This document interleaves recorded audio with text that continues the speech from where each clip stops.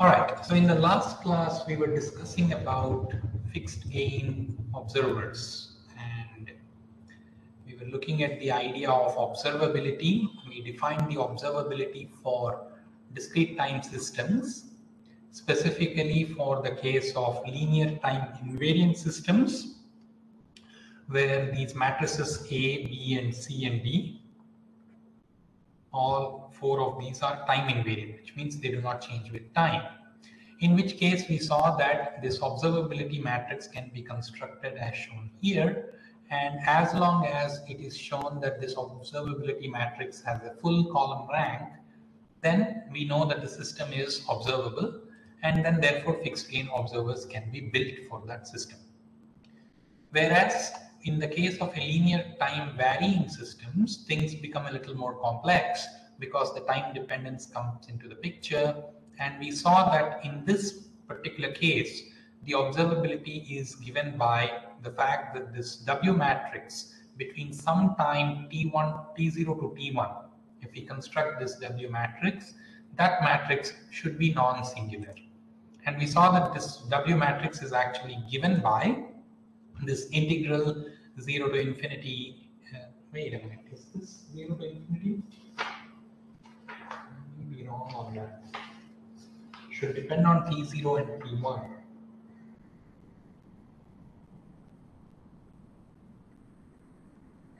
Hmm, yeah, this should be, there is a mistake here. This should be T0 to T1. So basically you're integrating from T0 to T1. Okay, that is what it should be. Yeah, T0 to T1. Okay, so then we saw that this is basically an integration from T0 to uh, infinity phi of T1 tau uh, transpose times C of tau transpose times C of tau times phi of T comma tau, T1 comma tau where this phi is the so-called state transition matrix.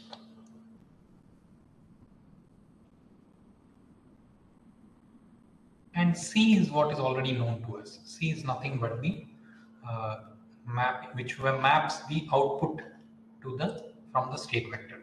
So we know what is C is. We have to figure out what is this value of phi. And we found that this value of phi, I told you that it is coming from the fact that if I figure out, if I give a unit value in each of the states, how does it proceed forward in time?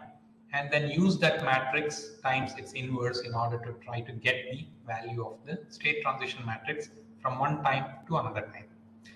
And I also told you that for most of our applications, we'll be interested primarily in the linear time invariant system and we are only covering the linear time varying system for the sake of completeness because when we discuss about Kalman filters, we would like to do the same as well. Okay, so the idea is again the same. We discussed about the observability being specified in terms of when this matrix is non-singular, then this linear time varying system is actually observable. Then we started discussing about the Luenberger observer, where we were looking at the idea that this observer is derived from a deterministic models. So which means that it's neglecting the process and noise, uh, process and measurement noises, but it will still work even when these are present if the gains are tuned appropriately. So in order to derive that, we were looking at the idea that let the original system be governed by these equations which you see here.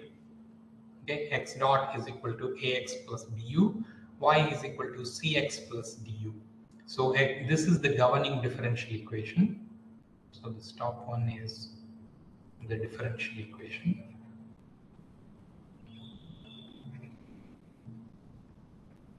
And this is the output of the plant this is the things which we can actually measure. So which means that y is what we can actually measure from the system. We do not know what is the internal actual state x. our task is to try to predict x as well as we can. So we don't know x precisely, but still we want to estimate x as best as we can. So we set up an observer in order to mimic its dynamics. So the idea is that x hat is denoting the estimated state value and its observer's dynamics is defined in a similar manner to what we would see with the original plant. But you'll see that there is a second term which is getting added plus k times y minus y hat. So where y is the actual measurement and y hat is the measurement that you would have expected if x hat was the actual internal state. Okay, is everybody with me on that?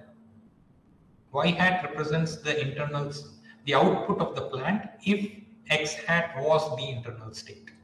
Now, if x hat is equal to x, then y hat will be equal to y and you should see this term being becoming zero. Okay, in which case you're getting back the same dynamics as before. The state estimator's dynamics is now matching with the original plant's dynamics. Okay, so the idea here is that we need to tune this so-called observer gain matrix K.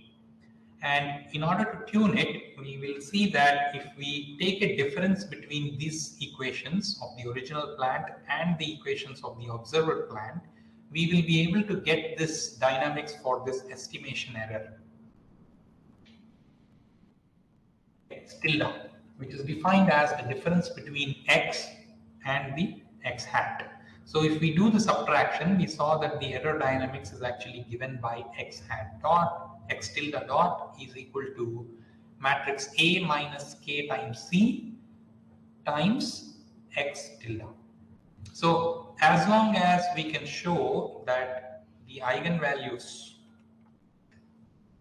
the eigenvalues of this matrix are having negative real parts, all of the eigenvalues are having negative real parts, we can be rest assured that for any given perturbation, the system will exponentially decay down to zero.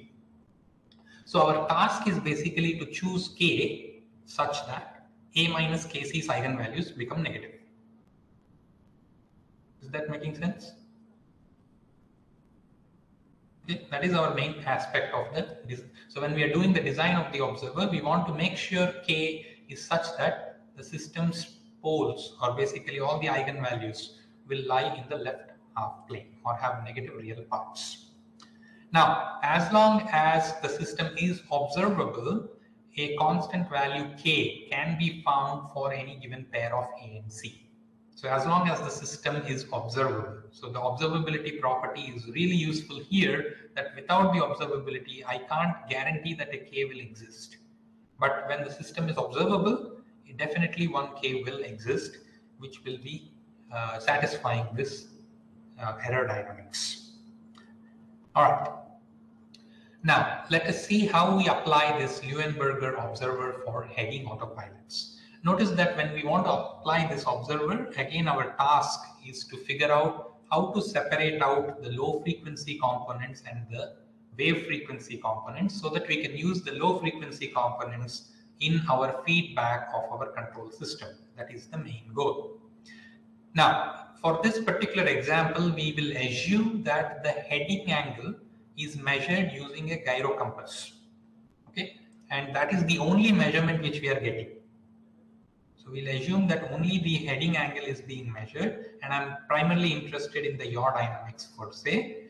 Then I'm assuming that only psi is measured, but R is not measured. But in a real vessel, you will see that it is actually R which is measured and psi is also measured using a gyro compass.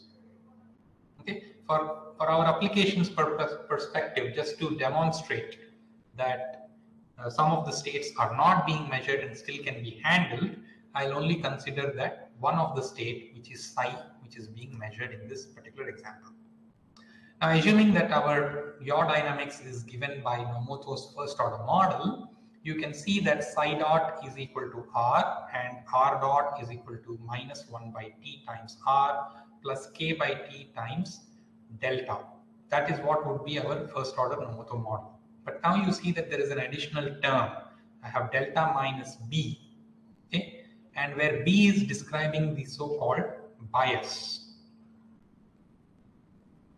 So this is in some way I am assuming that the environmental disturbances, the low frequency environmental disturbances with respect to ocean currents, wind gusts, or second order wave drift forces can be somewhat approximated by a random walk process, which means that I am basically integrating white noise over in order to get this value of B.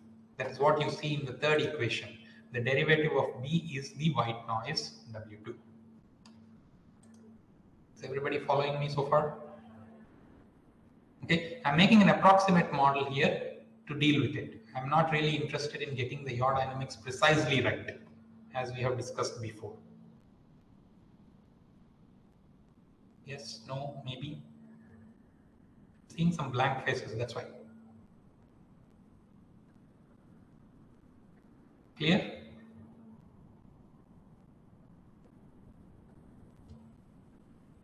Okay, all right. Sir, can you repeat that white noise part? I didn't actually get it. Sorry? Uh, can you repeat the white noise part? How it is, how it is implemented here? What part is independent? The no, the white noise part. That is W1 and W2, right? Correct, correct. So W1 and W2 are white noises that I'm adding. Okay, fine. What I'm saying is my ocean wave disturbances, ocean current disturbances, or wave wind disturbances, or let us say second order drift forces from waves, they can all be modeled as an integral of white noise. That is why you see B dot is equal to W. That's what I'm saying. Okay, so B is nothing but integral of the white noise. Okay, so let us assume that this is our dynamics for the low frequency motion of the ship where the rudder offset B is modeled as a Gaussian random walk. So whenever I am looking at the integral of the white noise, that process is called as a random walk. Its name is random walk. And we are not going too much into the details of what is white noise, what is stochastic nature. All of that is beyond the scope of our course. But this is a fairly simple aspect which we can appreciate and go ahead with. Okay. Now, and that bias term is needed to counteract these so-called slowly varying moments on a ship due to wave drift, low frequency wind, ocean currents.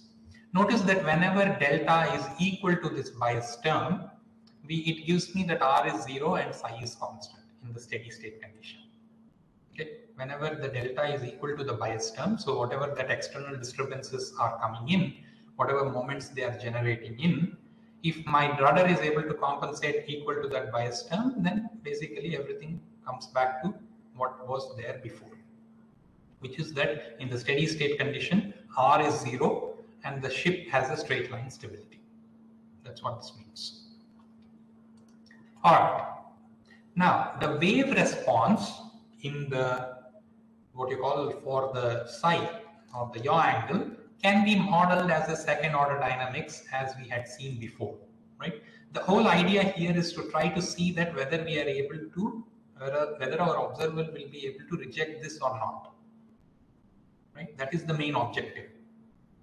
That is why we are trying to see this. Rather than go for an extensive realistic modeling, we can go with this approximate modeling and be able to separate out the components. That is what is of interest to us. I am not really bothered about whether the wave frequency yaw that I have got is how accurate or not.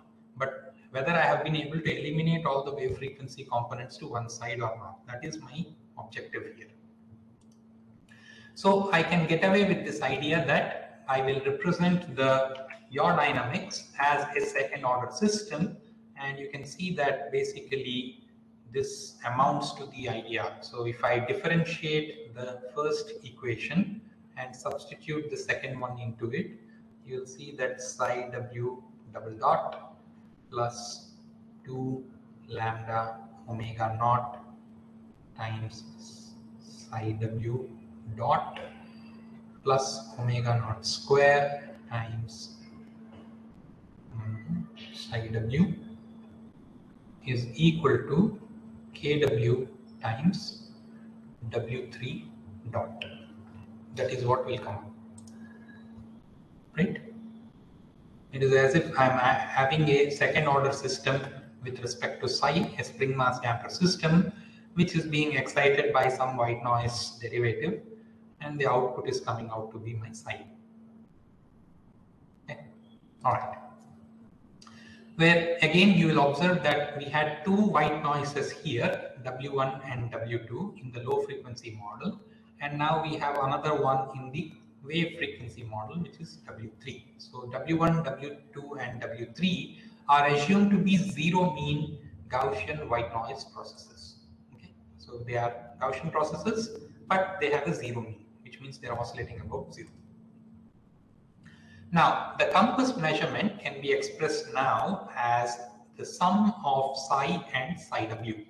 I have to add the wave component as well as the low frequency motion together but then there will be other additional noise which is coming due to the sensor itself, the sensor's measurement noise. And that I am representing as epsilon, which is also assumed to be a zero mean Gaussian process. So you'll see the common theme in all of these systems that I'm dealing with the Gaussian noise processes. I'm not dealing with any other noises. The reason is because we are looking at linear systems, a Gaussian noise will make sure that the output of the system is also linear when the system is not having a Gaussian noise but some other noise, then you may be in a little bit of a, uh, you may not be able to precisely get the Kalman filter working exactly. It will not give you the best estimates. But you'll see for most practical purposes, this is a very good approximation. We can consider the white noise as a good approximation for most of the systems that we are going to be looking at unless until there is some really obscure system which has a really weird noise this model more or less addresses most of our practical considerations okay note that in this particular example we are only measuring only measuring y which means r psi w psi uh, zeta w are not measured. These are not explicitly measured anywhere. Okay. So if I put down my states, okay, my state vector will now look like this. It has five states, which include zeta w, oh sorry, chi w, psi w, psi r, and the bias term b. Right? Now my noise vector is basically a 3 cross 1 vector which is consisting of three Gaussian white noises. Zero mean Gaussian white noises W1, W2 and W3.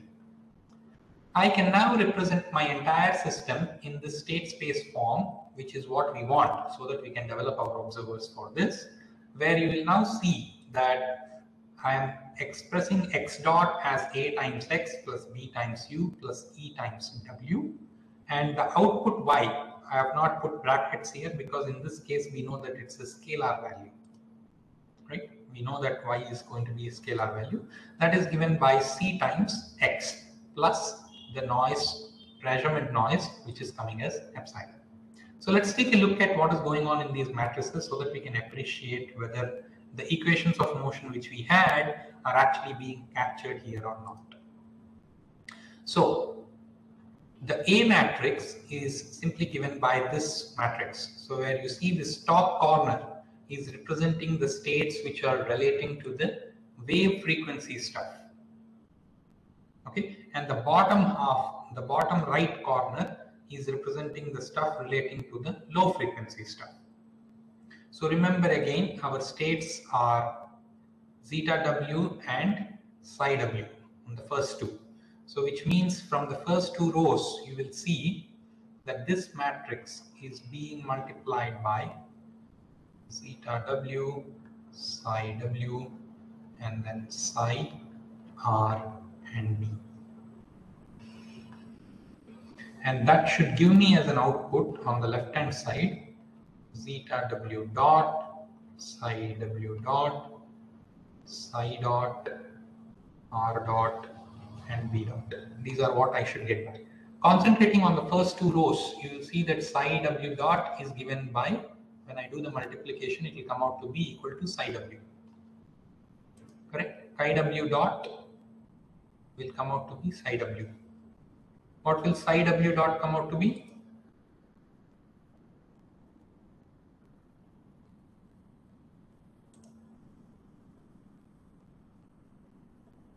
Second row multiplied by the column. What do we get? Minus omega zero square zeta after no. Yeah, Minus zeta omega 0 square times chi w psi w and and minus minus 2 lambda omega naught times psi w. Right? We are missing the noise term, but that noise term will be captured here in the E matrix. So we need not worry about it in the A matrix. Okay. All right.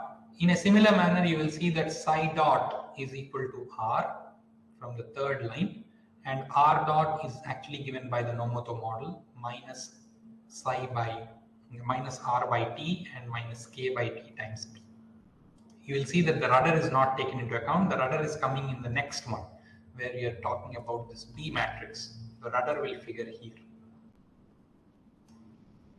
Everybody with me so far? All right. So when I look at the B matrix, I'll see that it is 0, 0, 0, k by t times and 0, a column vector which is consisting of this, which means the rudder's effect is only coming in the R dot equation which is what we saw before also, right? It is only in the R dot equation that rudder angle appears. That is the only place where the control input appears. Okay, then we have the E, e matrix, which is the last. Oh, there is something else which I missed. The C matrix. The C is the output. So when this is multiplied by the state vector, I want the sum of this and this. That is my output. I am not measuring individually each of them. I am measuring the combined output only. Right? So that is why my C matrix here will be 0, 1, 1, 0, 0. Is this making sense? Can you repeat that, sir? Basically, my output is the combined effect of wave induced yaw and the low frequency yaw combined. That is what I'm measuring, right? So that is why my C matrix Yeah, has to be equal to psi w plus psi. Yeah, it is psi plus psi w plus. Yeah. So therefore, that is why my C matrix will be Yes, 0, 1, 1, 0, 0. Everybody with me on that? Okay, all right. Now, our E matrix is basically KW times W3, right? Yeah, right. Okay, I just reverse the order of W in this, looks like. Hmm. This KW should have been, so this matrix when multiplied by W3, W1 and W2 will give me the right answer. Okay, so what I meant to do was here the order was not correct.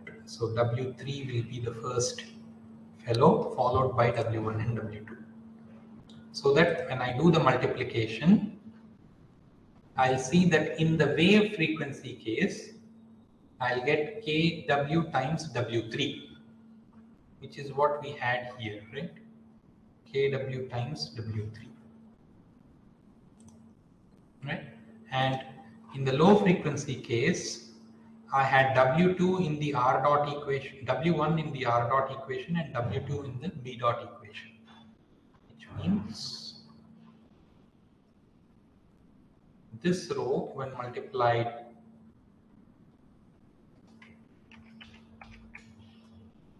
this row when multiplied by this column will give me w1 which gets added to the r dot equation and the b dot equation will be adding w2 to.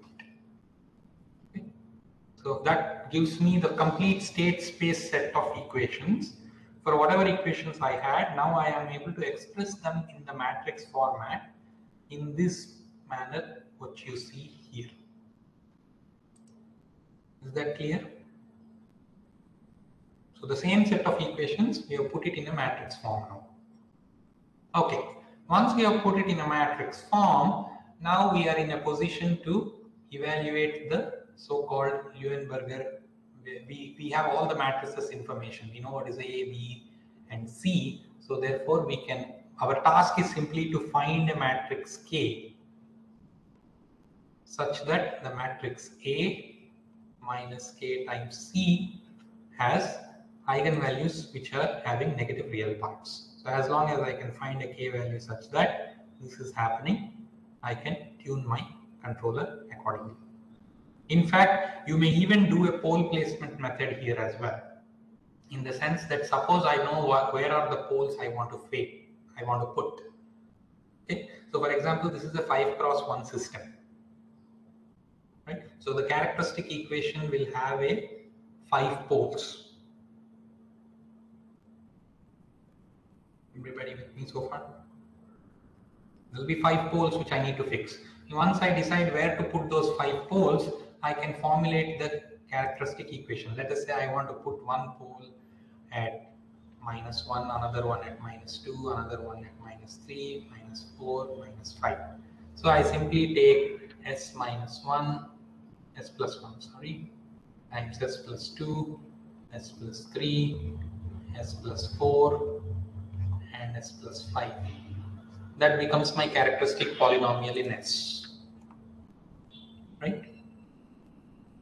And I simply need to find the S minus this fellow, S times identity matrix minus this quantity, is determinant will give me another polynomial in S. I basically compare the coefficients between them and figure out what should be the matrix values in K matrix so that those coefficients match out to wherever I want the poles to be. Okay, so that is the simplest pole placement method which we can apply. Same process as what we have seen before, no different. But we can apply that to put the poles of the system wherever I want them so that they are all in the left half plane. We know that all the eigenvalues are then negative real parts and therefore it will decay down to zero. We're confident about that. Okay. All right. So the main task is basically to try to put it or express it in the state space form so that you now have a, B, C, and D. And in fact, one thing which I forgot to do here was that you have to verify that whether the pair A comma C is actually observable or not. It, it is actually very clear to see you can try to do this yourself if you it'll it'll come out to be a 5 by 5 matrix and you can put it in MATLAB and give some values to K and T and test it out for yourself as long as T is greater than 0 you will see that the matrix is observable the, the MATLAB has commands for testing observability matrix. Okay. So if you give the matrix A and C to it, it can automatically tell you what the observability matrix is and whether it has a full rank or not. Both things can be found out in MATLAB. Okay. Previously, one would have had to go through a lot of linear algebra to solve it by hand. But now in the age of computers, we don't have to do that. We can use software tools like MATLAB to figure that out whether the system is observable or not. You can see, you can verify this on yourself that the system is observable. Maybe if we have a little bit of a time, next class I will just put in some values on a MATLAB script and show this in class so as to convince ourselves. Okay, all right. So that kind of completes our idea of a Luenberger uh, based observer which we are formulating. Some salient points of this observer I like to highlight. So when we are saying that I have a measurement which I am measuring and then I'm modeling psi and psi w using these methods which you are seeing here. Psi w is modeled using this and psi is modeled using the Nomoto's first order model. Then intrinsically what is happening is that when you are predicting as to what should be the internal states of the system, you are actually predicting all these five quantities. Right? Now your real graph may be doing some funny businesses, but you're taking whatever it is doing and you're characterizing how much of it is due to wave component, how much of it is due to low frequency component. You're separating it out and formulating your internal states. So your internal state now has the ability to separate out the low frequency components and the high frequency components. Note that when you are doing this, what are you tuning? You have to tune, tune your omega zero correctly. Where is that omega zero? In the wave frequency part. This omega zero is the frequency around which I will consider the effects to be actually components of wave frequency effects. So any frequencies which are neighboring omega zero, my filter will automatically characterize them as wave frequency effects and will put them inside psi w. And whatever is in the low frequency, far away from this, it will bring and put them in psi. Is that making sense? Is this part clear? Can we move forward or shall we? Is there any questions on this? Luenberger observer.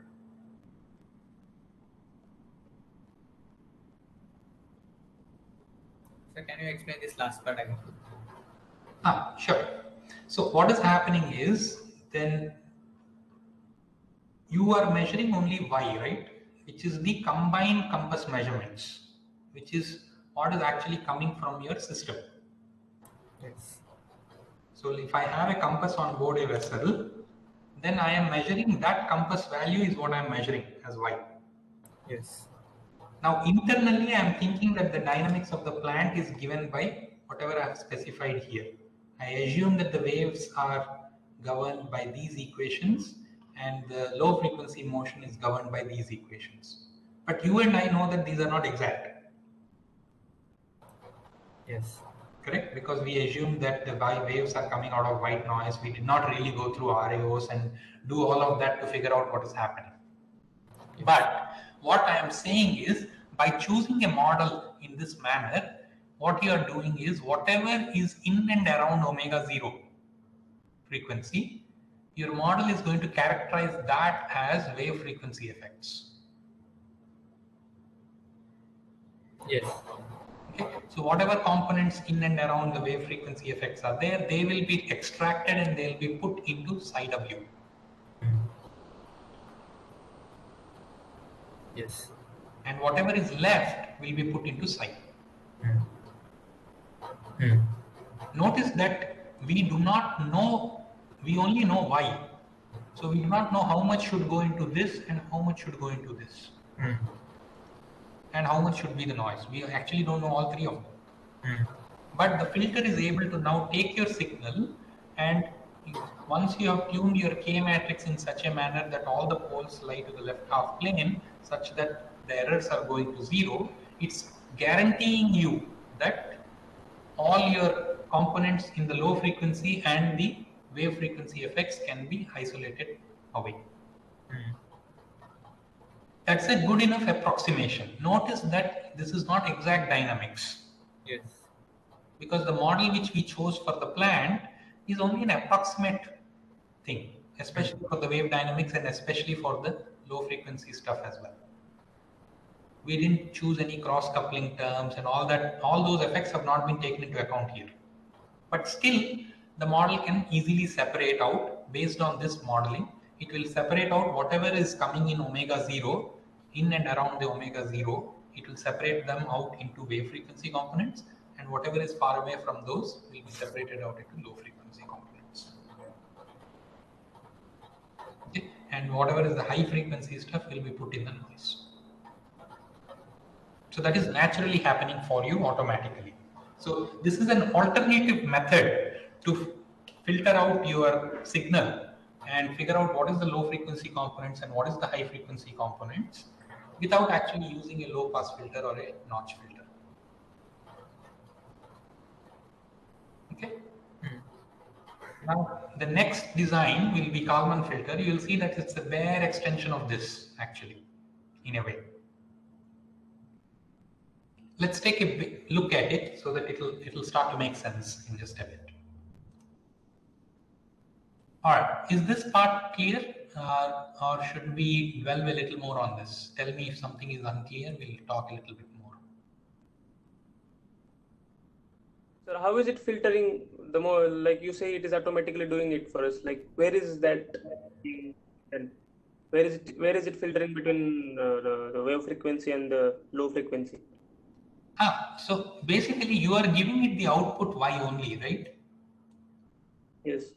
But then your estimator, your state estimator is trying to figure out the complete state vector, correct? Because I now know A, B, C and D matrices, I am formulating the state estimator, correct? Mm, yes. But the output is the only thing which I know. I'm only knowing the measurements. I do not know anything else about the plant. But I am saying my states consist of a low frequency motion and a high frequency motion. And the combination of those two is what the output is giving me. I'm presuming that, Yes. right? And in the dynamics, I am presuming that the wave frequency components are coming in and around omega zero. That is why I'm modeling it as a second order system with its natural period being close to natural frequency being close to omega zero. That is how I've chosen the dynamics, right?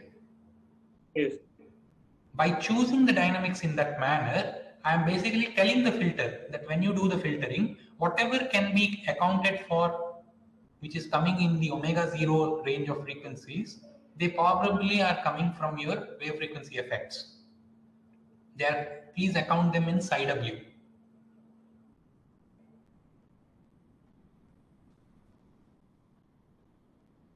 No, still not making sense. Tell me where the confusion is. Uh, how is it separating? That's uh, that's what I didn't understand. Like uh, uh, you you specified omega zero the wave frequency, uh, like the wave will have a frequency around omega zero. Now, the problem is the filter has to estimate the internal states. Yeah, this x hat. If it has that x hat, it has to internal state, it has to figure out. In that internal states, we have psi and psi w both. Yes. So it has to now make a distinction on what should be placed in psi and what should be placed in psi w such that the sum is equal to 1, Ah yes yes yes right? That is what its task is, yes. right? And the idea is the low frequency stuff should be governed by the Nomoto's model, should be relatively governed by the Nomoto's model, and the high frequency stuff should be governed by the wave dynamics that I have prescribed. yes. How best to separate the signals out such that they can be explained well. That is what it's trying to do. I gave it y, but it now has to decide how much of it should I place it in psi w and how much of it should I place in psi, so that the sum of them is equal equal to y. Correct? Yeah. Yes. But I told it also that psi w's dynamics is in and around omega zero. So whatever is coming in and around omega zero, it will automatically try to place it in psi w. And whatever is not in and around omega zero, it will try to place it in psi. Okay. Like uh, I was uh, like confused about how it, it is being done automatically. That's It is being done because we have the dynamics which we have prescribed. We have defined the dynamic. We have defined the dynamics in that manner to make that distinction happen. If I now suddenly change my omega zero frequency to be in very low frequency regime, your filter will not converge probably very easily. Ah, yeah. It will confuse between LF and the wave frequency. Where should I put it? It will not be clear. Should I put it in psi or should I put it in psi w? And there may be multiple possible answers. It will try to find the optimal best and put it. Okay. Mathematics will try to fix it up in the most optimal manner possible. But if the optimization problem is ill specified, then it will also have trouble. Yes. But as long as the distinction is clear, where the dynamics of the wave frequency is sufficiently separated from the dynamics of the low frequency, it will try to do a good job. Even when they are not separated out for smaller ships where we discussed that the wave frequency may be overlapping with the control bandwidth, even in that case, it will try to do the best possible job and give back to you. Okay, so here we are kind of using the idea of optimization methods underlyingly by specifying the dynamics and saying that find me the best fit of psi and psi w, which will give me the fact that psi plus psi w is y. Yes. Rather than telling it that, oh no, I am specifying these frequency ranges, diminish them, these frequency ranges account for them in the low frequency part. That is what I did when I was prescribing low, low pass filters. I gave the cutoff frequency. I said that from this frequency onwards, you only consider that. Here, I am not explicitly doing that, but rather I am kind of telling the system that assuming that most of my wave frequencies are concentrated along omega zero, think of it as if I'm telling it uh, that the dynamics of the waves should be governed by omega zero. But I'm not spec clearly specifying omega zero is the cutoff frequency. I'm letting it handle things on its on my behalf. Right? It's Yes. trying to do the best possible fit of psi and psi w such that the addition turns out to be whatever my output is. Okay, and this process will be basically be more. Uh, so right now, as I said, the Luenberger observer is based purely on where the poles of the system are. I'm just trying to put k values such that the system's eigenvalues are real and negative. I'm not considering actually what is happening to the noise in the system. The noise has not been taken into account in our analysis anywhere, right?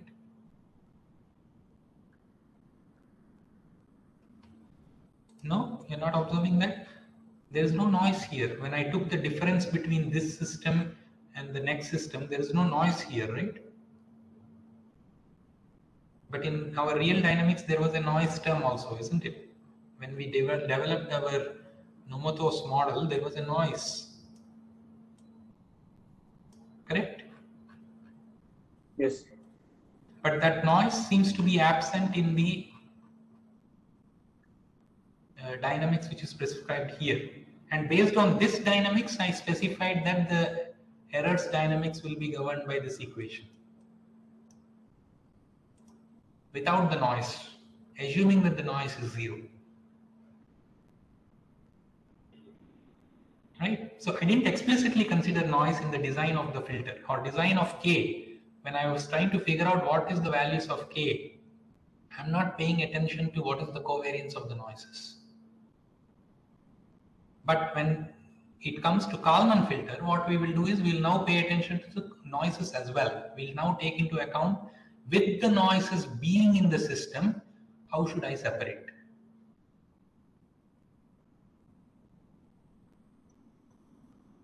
Okay. Still confusion. Tell me where is the confusion?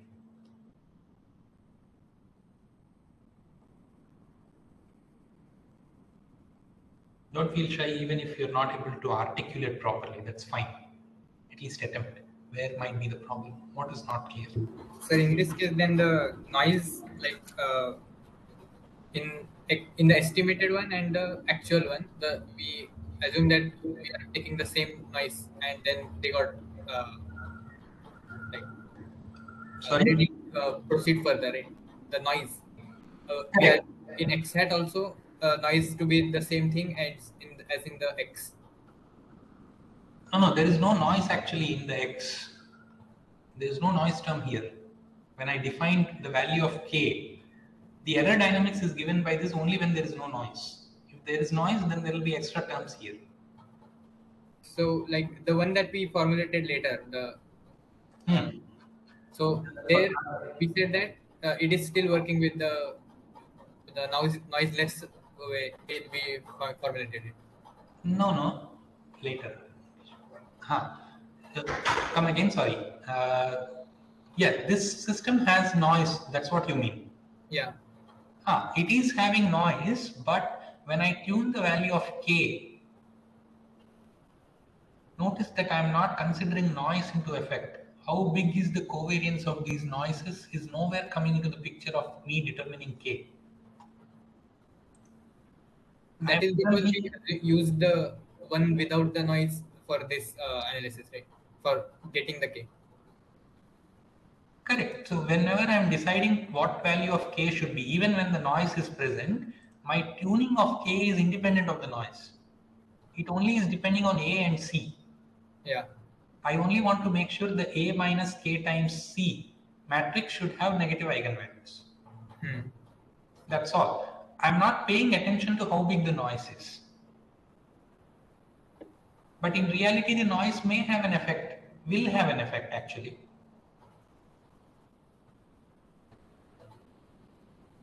Well, here we ended up with using the A minus KC because we were using the noise, the one without noise, we used that and we found this A minus KC should have negative uh, eigenvalues. Correct. But we uh, here we actually have the noise. So even if we go further with the, using this thing, uh, uh, we will again use say x- hat is equal to x hat dot is equal to a x hat plus bu uh, plus something that then again uh, like if we uh, so our noise the our prediction about the noise will determine whether we have it included or not No, no, no. It's not about prediction of our noise. I am not considering noise in tuning of K. That's all I'm saying.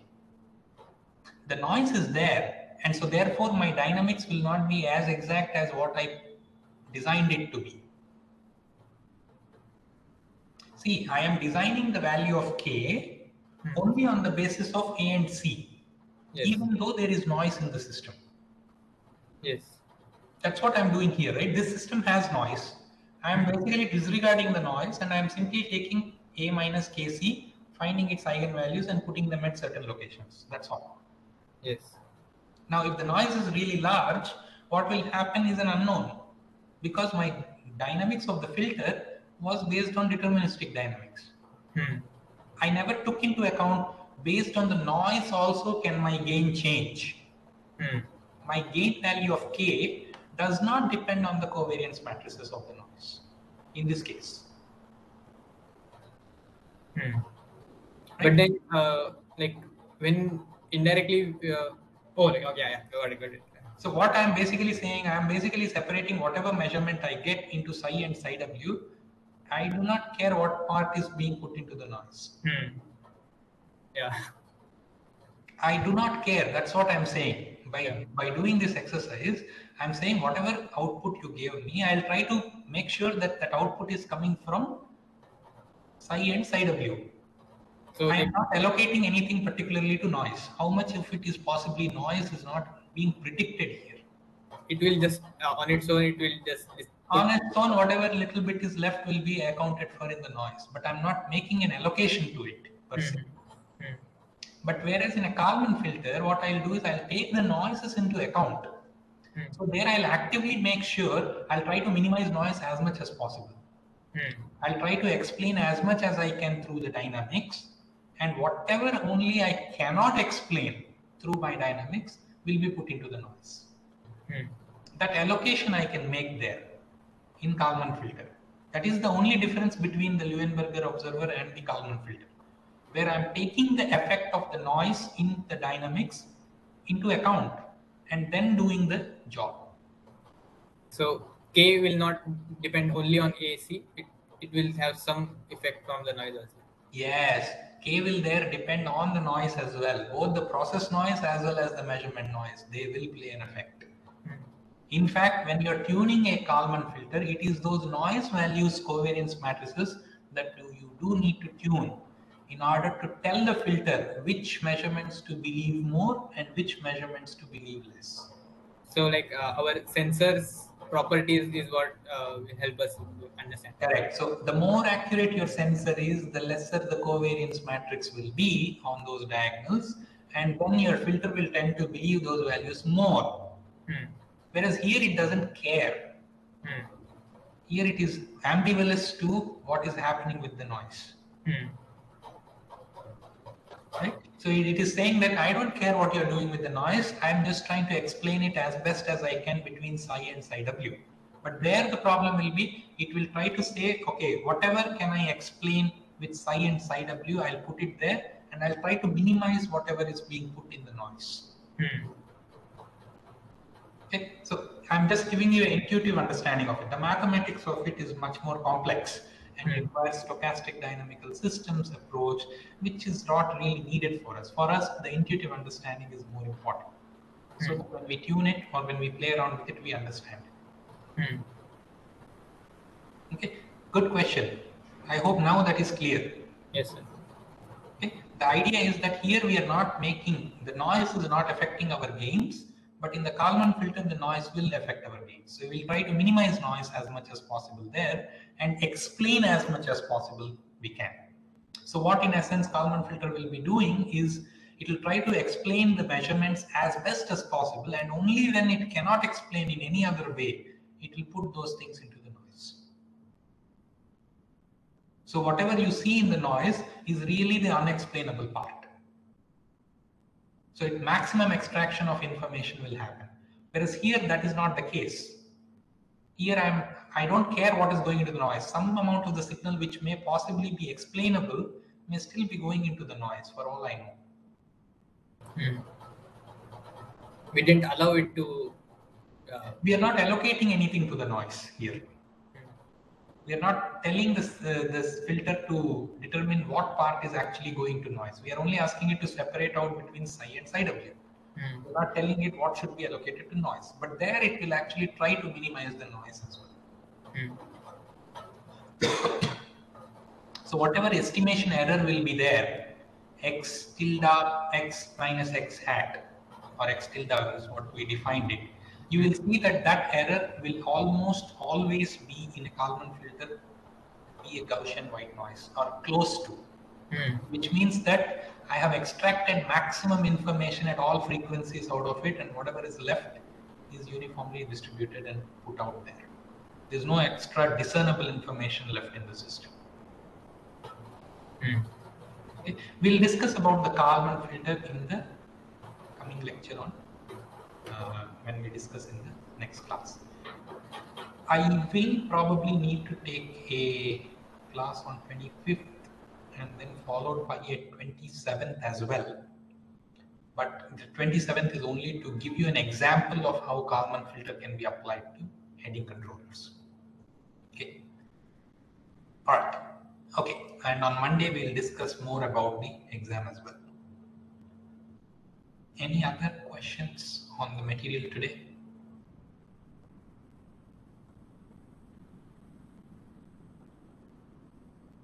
Sir, the robot localization package that we use, Hmm. uh, they might not have considered this dynamics as the uh, like in the X hat thing. Yes, it considers only kinematics. Yeah. Now you're catching on. so like uh, we should have our own then like with including these uh, Dynamics, you can you can filter your your you can devise a state estimator based on these dynamics. That Kalman filter is purely based on uh, the idea that it is only using kinematics. But then if you're measuring accelerations and if you want derivatives of accelerations, it becomes a little challenging to model them in the plant. Hmm. That is usually the problem. And kinematics is good enough for most applications, you will see. uh, like uh, there we, we use that ekf so it is actually uh, doing it for very small small parts right uh, like uh, the entire curve it is uh, trajectory it is uh, dividing into small small segments and it is applying the kinematics only on those small segments so there whatever was uh, uh, velocity or say that will give you the position like more or less correctly if the is that what is happening No, no, no. Uh, no, no, no, no. I didn't follow your idea of segmenting the trajectory. That didn't make sense. Tell me once more what you meant by that. uh, we in the field and service robotics course the, we were had that uh, the ekf thing actually uh, the whatever the actual trajectory might be Hmm. that is being divided into small segments uh, which are almost linear No, uh, is it? uh, almost uh, i mean uh, almost constant acceleration parts like the Ah, acceleration is very assuming that, ah, yes, that is true. So in your Kalman filters, which you are using on that from ROS, you are you are assuming that the uh, what you call the derivative of the accelerations and the derivative of the angular velocities Hmm. are having zero mean Gaussian processes. Hmm. So the jerk, which is the Hmm. derivative of the acceleration, and the angular velocities derivatives Hmm. are actually zero mean Gaussian processes, which means that you're assuming that they're not changing very rapidly. Hmm. So That is being included there. That's yeah, so kinematics alone, maybe that's why it uh, suffices. Uh, as long as it's a slow problem, yes. But if the, suppose the accelerations are varying very, very, very quickly, Hmm. Then it won't. then the that model may not be a accurate model. So, for example, as a, last time Aditya had asked the question, if we were looking at aircraft dynamics, can I apply the PID control? We cannot the, apply the PID control which we discussed in our class because we are assuming that the angles don't change very rapidly. Hmm. So that is not being taken into account. Hmm. So that that will cause problems. So in if we, the same thing will happen here too, you will need a different state estimator probably for such applications. Hmm. But for most robotic applications, why ROS is able to give that and make it work is most robotic applications which are not involving extreme G forces and things like that, Hmm. you can get away with this. Hmm. Suppose if you're doing a state estimator for a spacecraft which ISRO wants to put on a orbit, Hmm. then you can't use the same state estimator which you are using here. There you will have to even consider the effect that the gravity is actually changing over time as you move away from it. So all of these things will come into the consideration. Hmm. So then your plant dynamics may change there. Hmm. There you will formulate the system based on the dynamics of the system. You may formulate the predictions. Hmm. So that's why this this tool is pretty useful in the sense that where we can do much more modeling, the Kalman filter will help us make our predictions that much better in the case when measurements are absent. See, when the measurements are absent, the filter will try to predict the states and keep going forward. Hmm. Correct? As long as your model is more accurate, that prediction window can be longer. Hmm.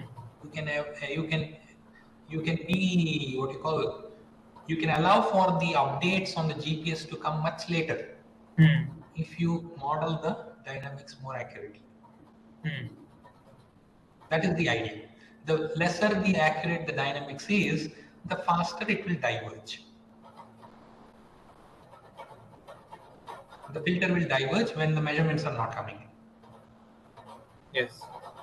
you can only predict for a short time. So let us say that uh, if you had a proper modeling of the craft, say you're able to predict for one second, then you may be able to predict only for half a second without it, Hmm. a proper modeling. I'm just giving example numbers. These may Hmm. have no meaning, right? Just to comparative numbers.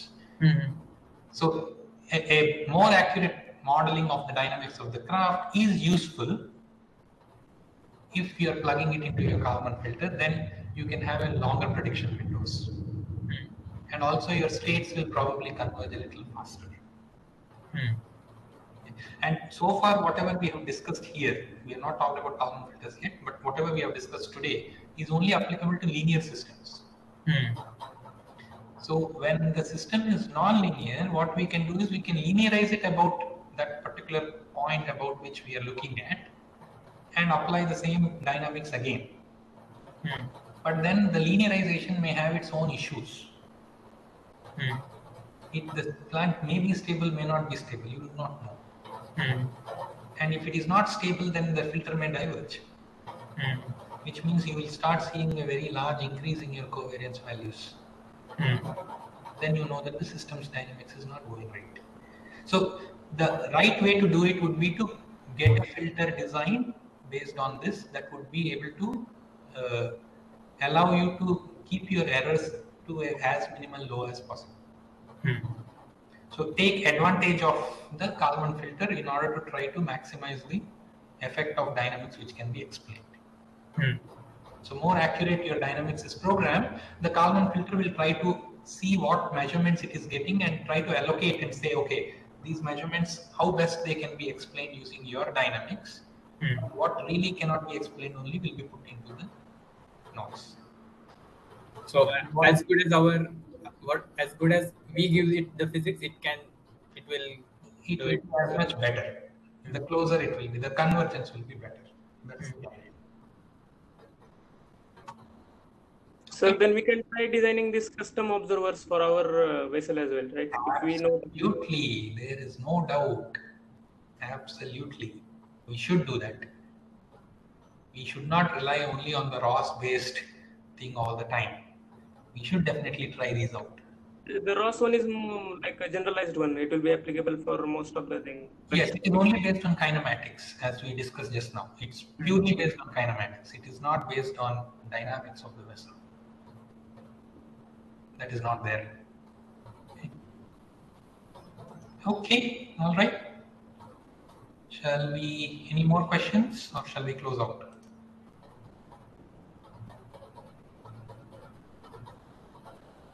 Okay, so in that case, let me stop recording.